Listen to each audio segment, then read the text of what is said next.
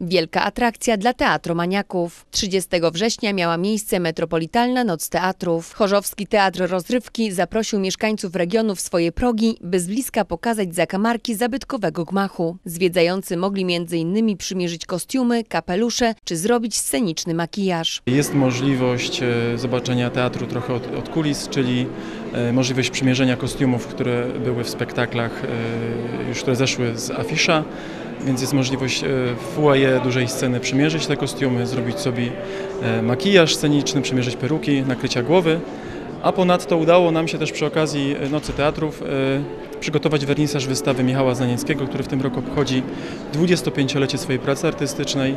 Także to jest nie lada gratka spotkać się też dzisiaj z tym reżyserem, zobaczyć kostiumy, które były w jego spektaklach, które były tutaj wystawiane w Teatrze Rozrywki. Tłumy ludzi, mamy pełne obie sale, także bardzo się cieszymy, że jest duże zainteresowanie repertuarem naszego teatru. Na razie zakładamy perukę, żeby pokazać Pani, jak będzie wyglądała w takiej barokowej peruce. Bardzo fajnie. Ciekawe przedsięwzięcie. Częściej mogłyby się odbywać takie imprezy. Dzisiaj przygoda z, te, z teatrem, z synem i z koleżanką wybraliśmy się na dzisiejszy wieczór i próbujemy troszkę e, zasmakować przygody teatralnej, przebierając się e, tym razem torera, toreador, a wcześniej, wcześniej król. Pierwszy raz na nocy teatrów, Nie, drugie. czyli wciąga impreza. Wciąga impreza, koleżanka wciąga.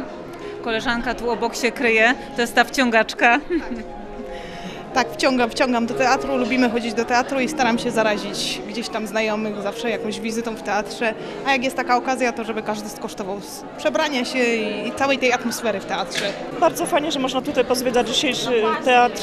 Bardzo nas to ciekawi, bo jesteśmy akurat z Katowic, ale na pewno będziemy zwiedzać teatr i poglądać sobie tutaj wszystkie rekwizyty. Jakieś miłe spotkanie ma być z aktorami. Tego wieczoru Teatr Rozrywki zaprezentował swoją najnowszą produkcję Bulwar Zachodzącego Słońca w reżyserii Michała Znanieckiego. obrazu dałbym coś lecz w tych czasach trudno o pracę